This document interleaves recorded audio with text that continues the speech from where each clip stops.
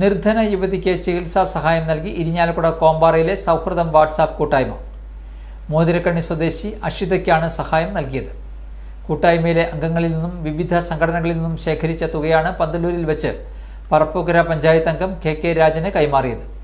WhatsApp കൂട്ടായ്മ അംഗങ്ങളായ അനൂപ് അരവിന്ദ് സിജോ കുഞ്ഞുമോൻ ഷാൻഡോ ആൻഡോ ദിനേശ് കുമാർ റോയി ആന്റണി ഷൈൻ പനങ്ങാടൻ ഷൈജു നാരായണൻ എന്നിവർ സന്നിഹിതരായിരുന്നു.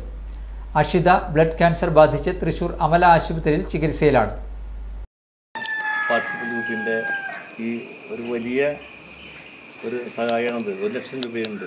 ഇതിന് എല്ലാവിധ നന്ദിയും എന്നൊരു ഗ്രൂപ്പാണ് ഞങ്ങളുടെ കോമ്പാറയിൽ കോമ്പാറയിലുള്ളവരും അതിന്റെ അടുത്ത് പ്ര- പ്രദേശത്തുള്ള ഞങ്ങളുടെ ഫ്രണ്ട് സർക്കിളിൽ വെച്ചിങ്ങായിട്ടും അതുപോലെ ഓരോരുത്തർ വെച്ചിങ്ങായിട്ട് ഞങ്ങൾ ആകെ ഞങ്ങളുടെ മെമ്പർമാർ ഒരു മുപ്പത് പേര് മുപ്പത്തിരണ്ട് പേരുള്ളൂ.